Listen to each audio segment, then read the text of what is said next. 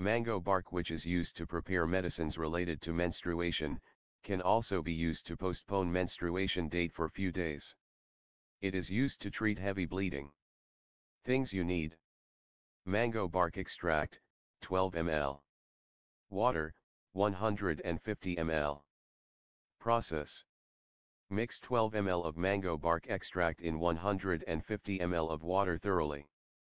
Keep this mango bark liquid in the refrigerator for 10 minutes. Start taking one dose of mango bark liquid in every 3 hours, 1 tablespoon makes 1 dose. Taking it 5 days before the actual date of period can give you effective results. Subscribe us to know more health tips and home remedies.